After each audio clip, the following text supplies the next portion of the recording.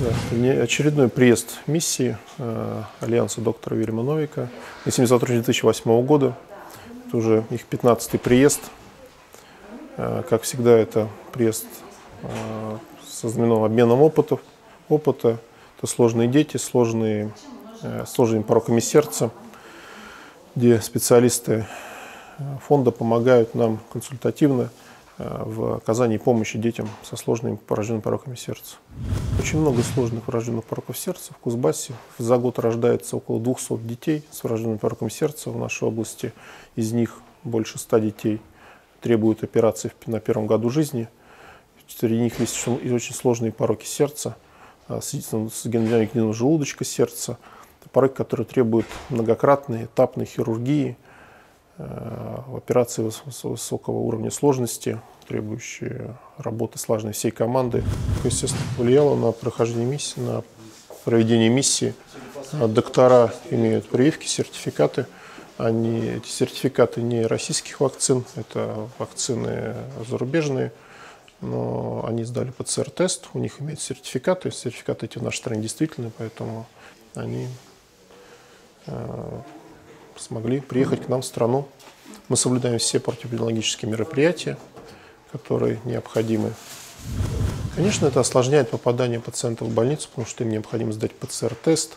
Э, часто получается такая ситуация, что э, пациенты не знают о том, что они болеют в больнице, только выявляют, что они болеют. Соответственно, мы вынуждены таких детей выписывать, выписывать всех, кто с ними контактировал, если это позволяет их состояние. Если их состояние это не позволяет, то нам мы тогда должны выжить минимум две недели, либо оперировать на фоне коронавирусной инфекции, что значительно ухудшает, осложняет прогноз ухудшает его. Поскольку коронавирусная инфекция, помимо поражения легких, поражает еще систему гемостаза и приводит к тромбозам послеоперационном приеме, вообще расстройств многих систем, не только дыхательной. А в нашем центре есть отделение, занимающееся пациентами Э, с патологией сердечно-сосудистой системы и, и которых осложнился ковидом. Сложности, которых сопутствующий ковид. Если пациент нам поступает с коронавирусной инфекцией, но требует хирургического вмешательства, либо пациент э, поступил к нам, мы выявили у него коронавирусную инфекцию, но не можем его выписать домой по его состоянию, вынуждены оперировать на фоне коронавирусной инфекции. У нас есть специальное специализированное отделение, которое этим пациентами занимается, это реанимационное отделение. Всем рекомендуем Э, иметь прививку, поскольку пациенты, которые привились, переносят коронавирусный инфекцию значительно легче, у них практически нет осложнений. Мы не встречали э, тяжелых осложнений либо летальных исходов у пациентов, которые заболели коронавирусной инфекцией но и были привиты.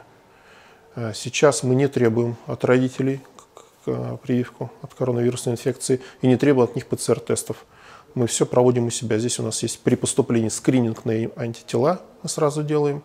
Если антител нет, то ребенок поднимается в отделение с, с, с родителем. Мы их стараемся в отдельную палату разместить и берем у них ПЦР-тест. В течение суток мы получаем ПЦР-тест. Если он отрицательный, мы дальше оказываем помощь ребенку. К счастью, дети очень легко переносят коронавирусную инфекцию. И зачастую это мероприятие связано с тем, что мы вынуждены Э, этого ребенка изолировать с родителями, вынуждены контактных всех детей выписывать. Многие из них не требуют э, экстренной хирургии или не требуют экстренной помощи, но они все равно требуют помощи. И помощь эту мы не можем им оказать, поскольку они, э, или мы вынуждены ее отложить, эту помощь. Но если ребенку по показаниям, медицинских показаний к вмешательству, мы таких детей, естественно, оказываем им помощь. И родители, они тоже молодые, они очень легко переносят коронавирусный вирус. Больше связаны с организационными мероприятиями, чем э, с какими-то проблемами. Но у детей, и об этом много в России говорят, э, за счет нарушения гемостаза у них не поражаются так сильно легкие, не поражаются другие органы, но у них поражается система гемостаза и образуются тромбы.